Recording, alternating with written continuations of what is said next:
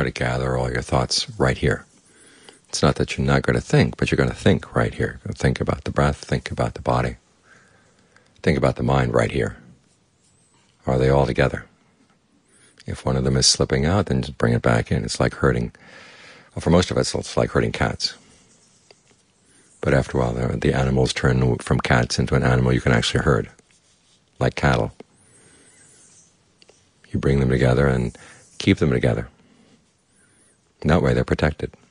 Protected from what? Well, they're protected from outside influences that might come in and then stir up your greed, aversion, and delusion.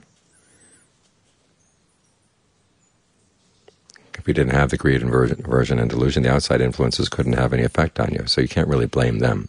The problem is here inside.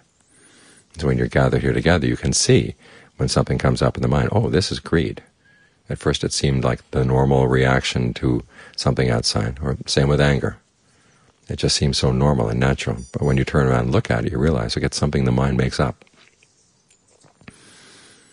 And if it makes itself suffer, why go with it? I mean, you can see it as it begins, and you can see where it goes. That's what's good about having your awareness all centered here. If you're scattered around among other things, you never really notice these things. You have no idea the extent to which you're the one who's causing yourself to suffer. Your attention is outside, and so whatever happens inside the mind, you blame outside. But as you gather things in here, you say, oh, this is, this is why the mind is suffering, because it's doing this, it's doing that. It's choosing to react in certain ways. Now, in a lot of cases, the choices are so habitual that it doesn't seem like much of a choice at all. You just fall in an old rut and go wherever the rut leads you. But when you gather your mind together like here, here together like this, okay, then you can pull yourself out of those ruts and say, I don't have to think in those ways. I don't have to react in those ways. Because you got everybody right here watching what's going on. So this quality of having everybody to gather together here, that's a really important part of the meditation. It's like you've got eyes all around, watching the mind from every, every side.